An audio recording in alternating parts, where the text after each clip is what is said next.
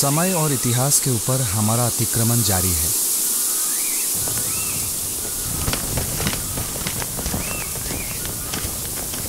हम अपनी संस्कृति, सांस्कृतिक परंपरा और रीति रिवाजों को छोड़ते हुए यहाँ आ पहुँचे हैं। हम वर्तमान बनकर बह रहे हैं। तीस्ता, मेची बालासन रंगीत और महानदी बनकर जीवन को खोज रहे हैं।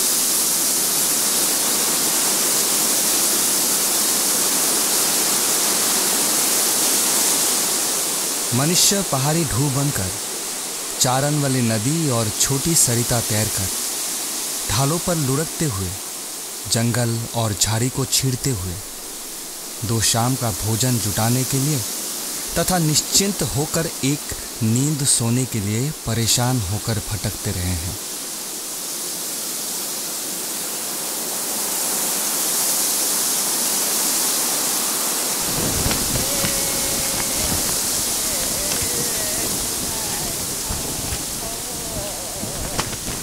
जीवन का मोह और जीवन रहने की आकांक्षा से प्रेरित होकर आज यहाँ, कल वहाँ और परसों ना जाने कहाँ कहाँ जाते रहे हैं।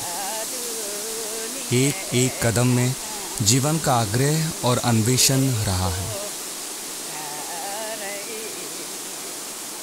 तीस्ता का पानी इसी प्रकार मतमेला बना हुआ है। हमारे अस्तित्व का शिलान्यास इस प्रकार हुआ। आदि अंत। दशहरा का त्योहार, माघ संक्रांति, धूल पूजा, गाली श्राप, सांसारिक पूजा मनाते हुए हमारे पूर्वजों ने इस मिट्टी को खरीदा है, जीता है और अपना बनाया है। रंगीत ने यही संगीत धुला है।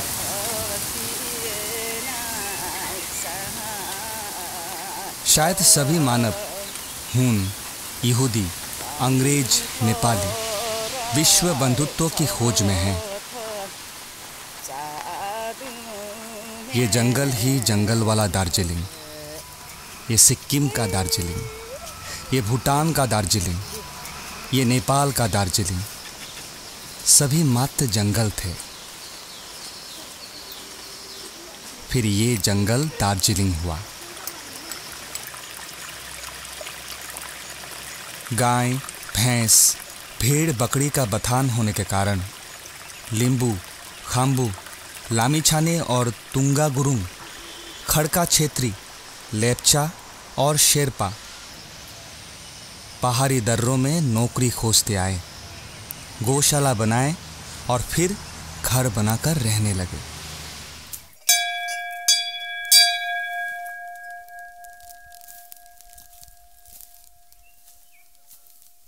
लोपचेलामा सेती काली देवियों के लिए मंत्र गाकर ढोल और दफली बजाते हुए, डमरू और छाल छंकाते हुए, वंशी और मादल धन धनाते हुए, प्रत्येक पहाड़ी की चोटी पर देवस्थान की स्थापना करते हुए,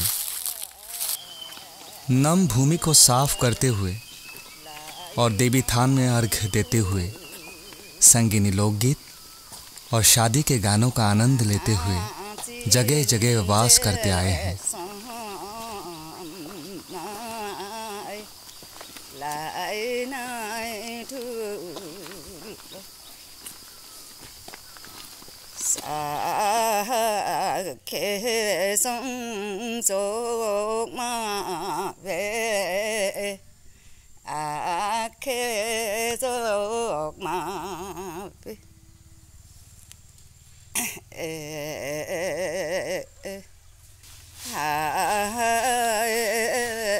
मेरो पिताजीको नाम थियो विन्दे राई र गाउँमा प्रचलित नाममा अरू अरू प्रचलित नाम थियो ओम प्रकाश राई र बिन्दे राई नाममा उनले धेरै उयो गर्यो नाटकहरू प्रदर्शनी गर्यो र ओम प्रकाश चाहिँ राजनीतिमा उनको नाम थियो। आमाको नाम थियो। सबले चल्ते नाममा चाहिँ इन्द्रको आमा भन्थ्यो। तर उदिमाया राई उदिमाया राई नामले थियो। तर ब आमाले उदिमाया ना नाम मन पराउँदैन थियो र पछि एउटा मनमाया नाम रासन कार्डहरूमा उदिमाया के अरे मनमाया राई भनेर लेखिरहेको थियो।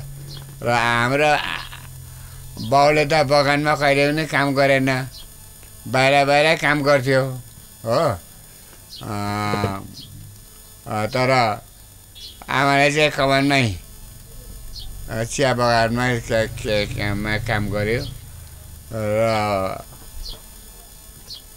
र चिया बगानमै बाहिरबाट रिटायर पनि भयो।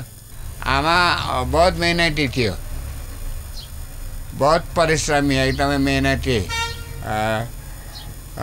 चिया बगानमा खट्यो घरको कामहरू घरेलु कामहरू जम्मै कामहरू उनले नै भ्याउनुहुन्थ्यो र गाउँमा पनि मिलनसार पूजाआजातिर मैले मैले पहिलापल्ट उन्नाइस सौ एकासी सालमा दिल्लीबाट साहित्य एकाडेमी पुरस्कार पाएको रेडियोबाट समाचार आएको। त्यो सुनेर आमा खुसी भएको थियो। आमाले त खुसी भयो। एकासी सालमा एकासी सालमा अल इन्डिया रेडियो दिल्लीबाट एनाउन्समा आमाले पनि त्यो समाचार सुन्नुभयो। अन्त आमा खुसी हुनुभएको थियो।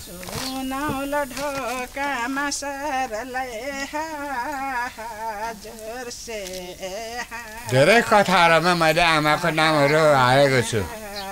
उपन्यासमा पनि हालेको छु आमाको नामहरू। र कतिमा चाहिँ कथाहरूमा पनि आमाको नाममा आमा आमाको जुन परिश्रम थियो मेहनत थियो काम गराइमा जुन कुरोमा त्यो त्यो कुरोहरूलाई मैले उपन्यासमा कथाहरूमा हालेको छु।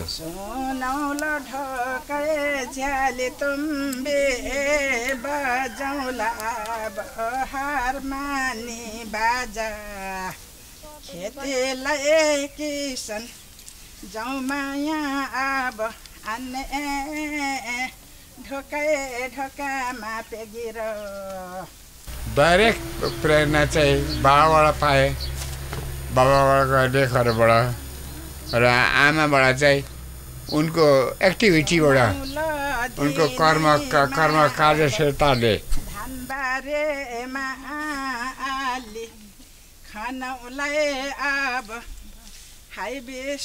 आमाले चाहिँ जुन कामहरू गर्नुहुन्थ्यो त्यो त्यो मैले म प्रभावित थिएँ। म अनुग्रहित छु आमासँग। किनभने आमाले नै गर्दा नै मैले धेरै कुरो गर्नु सकेँ र आमाप्रति म अनुग्रहित छु। मेरो आमाले लेख्नुमा चाहिँ खुब जोड दिन्थ्यो। अन्त लेख्नमा उनको चासो थियो र मैले लेखेको मन पराउनुहुन्थ्यो र त्यो कुरोहरू उनले म यो लेखाइप्रति नि आमाप्रति अति नै ऋणी छु। अनुग्रहित छु आमाले गर्दालाई यतिको म लेख्नु सक्ने लेख्नु सक्ने भए। आमा, आमाको आमाको देन छ यसमा।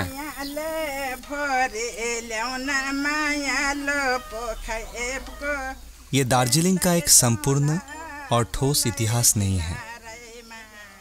नेपाली इतिहासकार लोग दार्जिलिंग को चयन कर समग्र रूप में तथा शोध कार्य कर एक पुस्तक के आकार में ढालने का श्रम और साहस अब तक नहीं कर सके हैं। यह हमारा दुर्भाग्य है। इस बार अपने इस दार्जिलिंग को पीछे मुड़कर देखने की मेरी इच्छा हुई। पूर्वजों की समाधियाँ खोजने की लगन लगी। उनके पुनः जागृत जीवन की समस्या और दार्जिलिंग की कथा की खोज करने की कामना जगी। साधन, प्रमाण और साधना के अभाव के बावजूद मैंने साहस नहीं छोड़ा। दार्जिलिंग के तेज ढालों, पहाड़ों, झाड़ियों, शहरों तथा गाँवों में हर जगह घूम घूम कर पूर्वजों की समाधियाँ छक छोड़ते हुए भी कष्टपूर्वक नए क्षितीश की खोज हेतु उन्हें यहाँ बचा कर रखा है।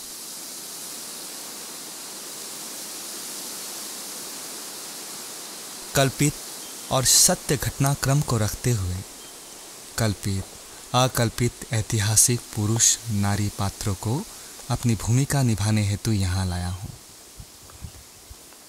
हो सकता है कहीं मैंने अन्याय करते हुए उनके ईमानदार चरित्रों में कलंक लगाया हो, भूल की हो। लेकिन ये उपन्यास है, इतिहास नहीं। ये समझकर क्षमा कर देंगे। इस दार्जिलिंग के इतिहास संबंधी पात्रों के बीच कितने सम्मानीय अग्रज अब भी ऐतिहासिक भूमिका निभाते हुए हमारे बीच जीवित हैं।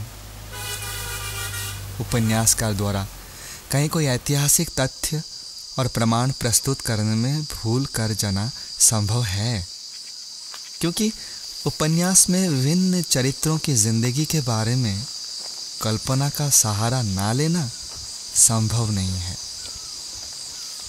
इस दार्जिलिंग के निर्माण में, शहर को इस रूप में लाने में हमारे पूर्वजों ने कितनी और कैसी बड़ी भूमिका निभाई है। इसका संक्षिप्त अवलोकन करने की चेष्टा मैंने की है।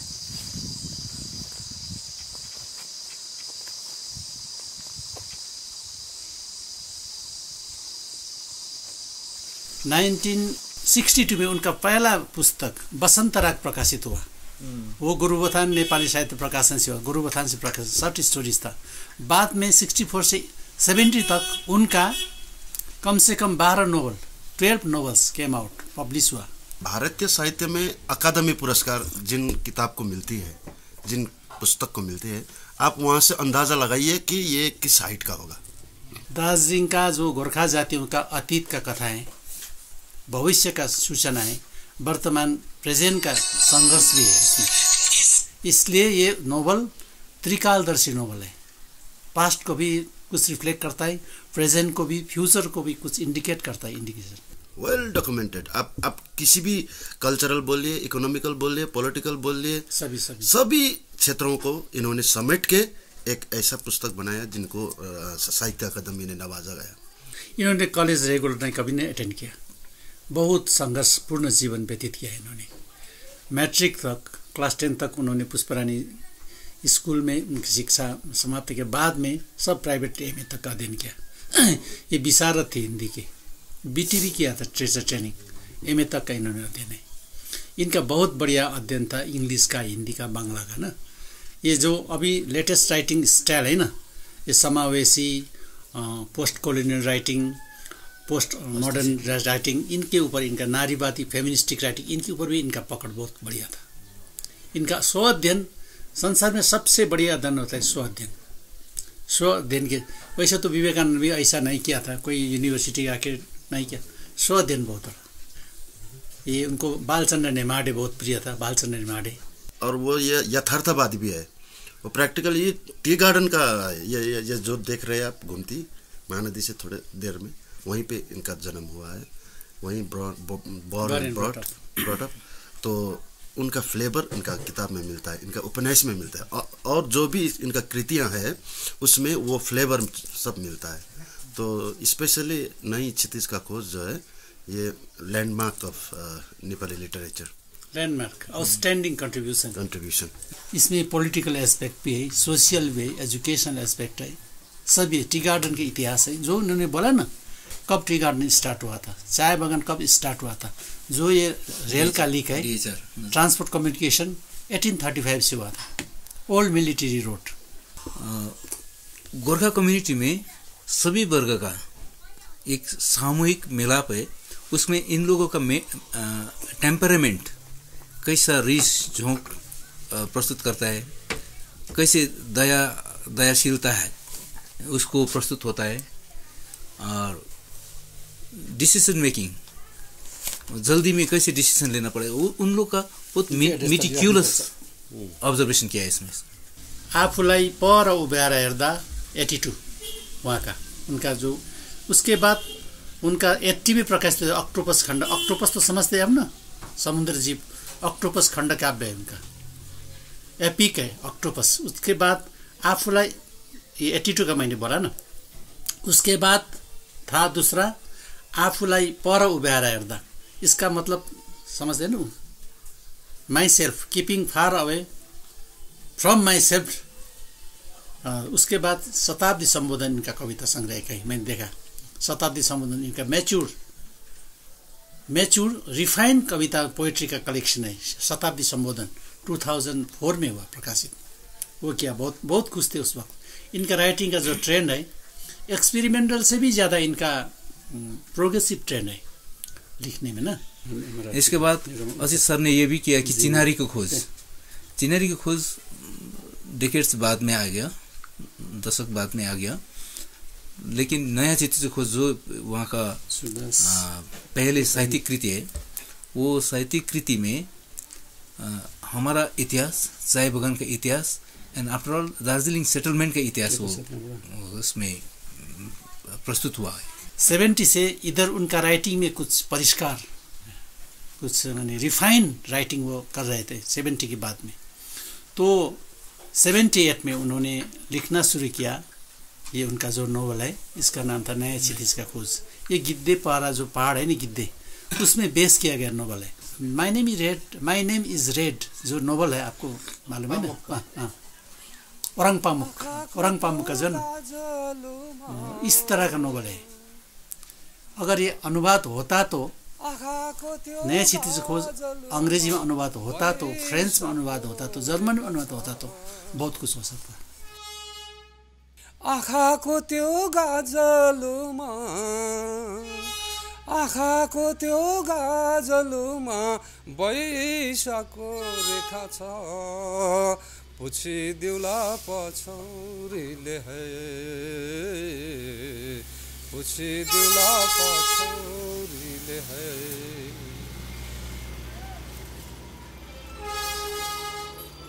ढल्केर गयो है। ढल्केर गयो ढल्केर गयो जोबन निर्मयको यादमा ढल्केर गयो जोबन निर्मयको यादमा कहानी त लेखिदेला है। कहानी तो लिखी दिला है।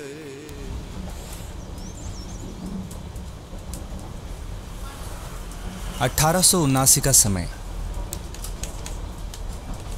रेल की लाइन बिछाने का तेज़ी से काम शुरू हो रहा था। फ्रैंकलिन प्रेस्टिस साहब ने सिलीगुड़ी तक आई रेल लाइन को गोंदरी बाज़ार तक पहुँचाने के विचार से लेफ्टिनेंट गवर्नर एडन साहब के पास आवेदन पत्र दिया। उसी आवेदन के आलोक में सरकार का आदेश हुआ, खाम प्रारंभ किया जाए। सड़क के किनारे किनारे दो फुट चौड़ी रेल लाइन बिछाने का काम शुरू हुआ। मने छेत्री और दले मगर भी तीन धारा में आकर रेल का रास्ता बनाने के काम में लग गए। मार्च 1880 यथाशक्ति ज़ोर लगाकर तीन धारा तक रेल की लाइन बनकर तैयार हो गई। अब इसका उद्घाटन करने के लिए दिल्ली शहर से वाइस रॉय लॉर्ड लिटन आएँगे।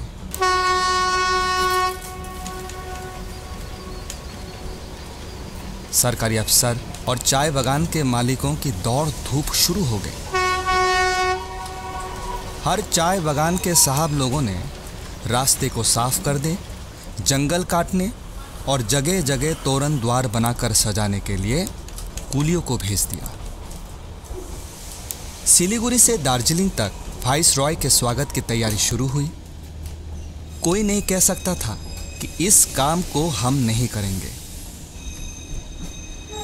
बूढ़ा बूढ़ी और बच्चों तक सबको सड़क पर मिट्टी धोने, बिछाने और पत्थर हटाने का काम करना पड़ रहा था।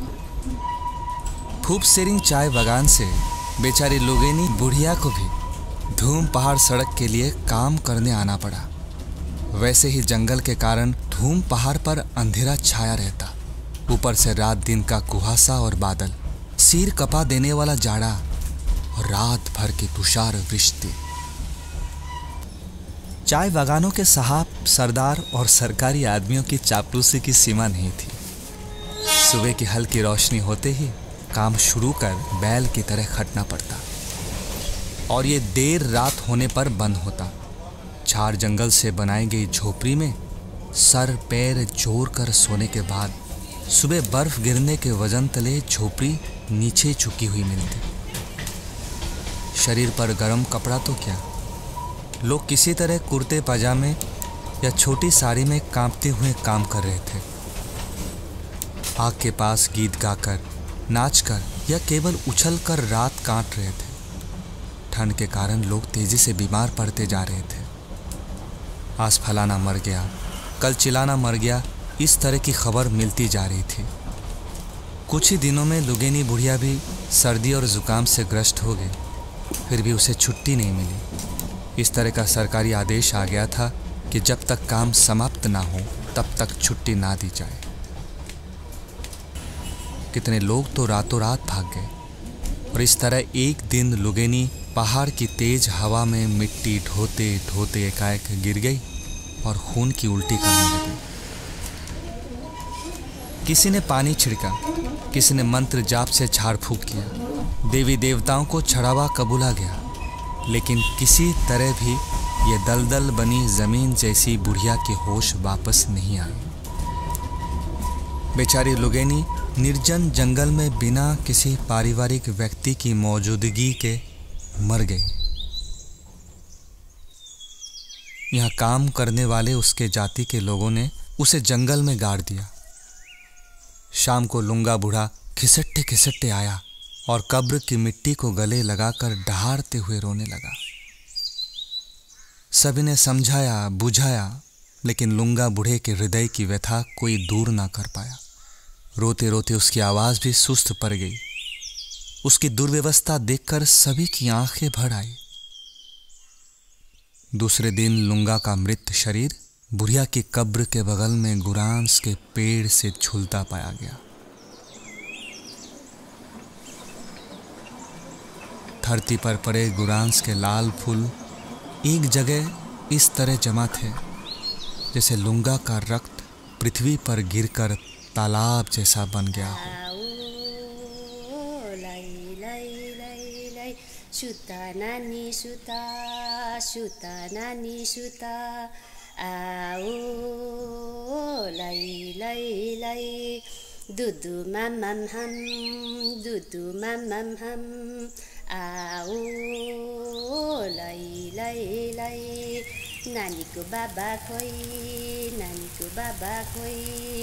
आओ लै लै लै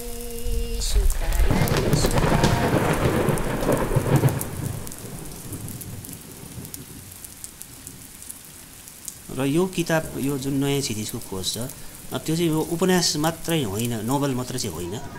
यो चाहिँ इतिहास पनि हो यहाँको दार्जिलिङको। तर उहाँले चाहिँ उहाँ उहाँको भनाइमा मैले बुझ सोद्धाखेरि कि एउटै कुरा भन्नुभएको थियो इतिहास पढ्नु अथवा हिस्ट्री पढ्नु मान्छेलाई अल्छी लाग्छ हाम्रो मान्छेले इतिहास पढ्दैन। तर हाम्रो मान्छेलाई इतिहास पढाउनुको लागि चाहिँ यो साहित्यको सहारा लिएको मैले भन्नुभएको थियो मलाई। किनभने एउटा त्यति बेला नोभलहरू चाहिँ चलिरहेको थियो। जस्तै सरले तेह्रवटा नोभल लेखिसक्नु भएको थियो।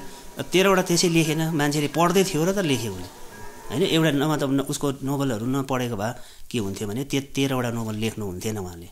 अन्त ने नोभल चाहिँ पढ्दो रहेछ भनेर चाहिँ थ्रु नोभल चाहिँ उहाँले हिस्ट्री बताउनु चाहेको थियो। र यहाँको दार्जिलिङको हिस्ट्री बताउनु चाहेको थियो।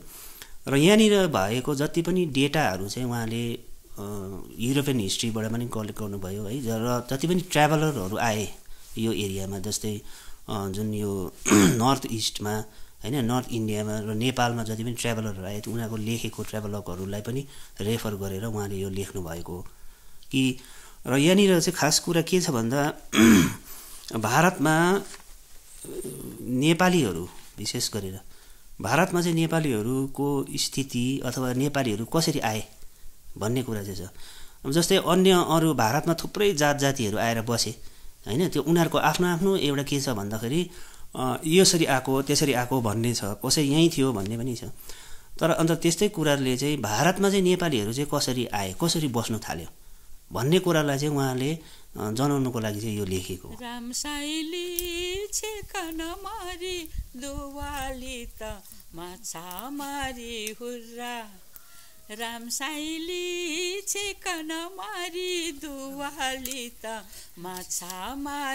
हुर्रा।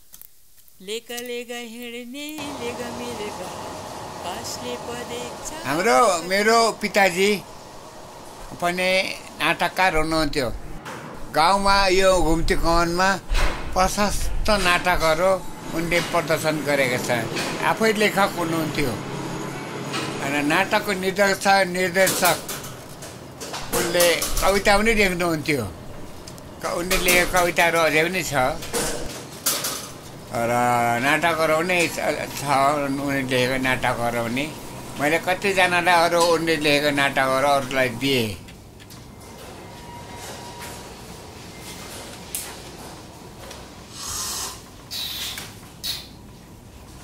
म त अब राम्रो मुखले भन्नुहोस् अब अलिकति सत्यमा त राम्रो भन्ने थिएँ। अब सत्य ठिक छैन। मुख पनि राम्रो लाग्दैन कान पनि राम्रो सुन्दैन। हो। अनि त्यसले गर्दाखेरि राम्रो कुरोहरू मैले सजेसन गर्न सकिनँ। तर हाम्रो पुर्खाहरूले बनाइरहेको जुन मन्दिर छ मस्जिदहरू छ गढीहरू छ कतिवटा स्थानहरू के चिजहरू छ त्यसलाई सुरक्षित राख्नु नै हाम्रो इतिहासको सुरक्षा हो। इतिहासलाई बचाउनु हो। नमुनाको रूपमा हामीले राख्नुपर्छ त्यसलाई। यस्तो थियो। हाम्रो बाजे बोजूले यसरी पूजा गर्थ्यो। यसरी घरहरू बनाउँथ्यो। यसरी अरू अन अन्य क- अ, अ, तीर्थ व्रतहरू गर्थ्यो। त्यसको नमुनाको रूपमा चाहिँ राख्नु सक्नु पर्यो। परम्परा अनुसार चाहिँ अब कुनै पनि कुरो स्थायी त रहँदैन।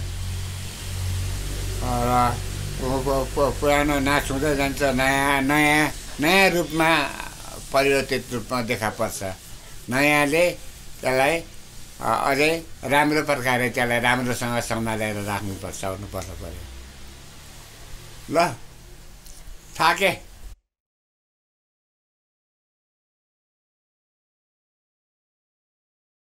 आँखाको त्यो गाजलुमा आँखाको त्यो गाजलुमा वैशाखको रेखा छ। पुछिदिउँला पछौरीले है। पुछिदिउँला पछौरीले है। आँखाको त्यो गाजलुमा आँखाको त्यो गाजलुमा वैशाखको रेखा छ। पुछिदिउँला पछौरीले है। पुछिदिउँला पछौरीले है।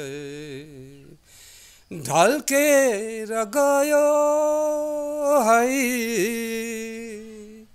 ढल्केर गयो ढल्केर गयो जोबन निर्मयको यादमा। ढल्केर गयो जोबन निर्मयको यादमा। कहानी त लेखिदेला है कहानी त लेखिदेला है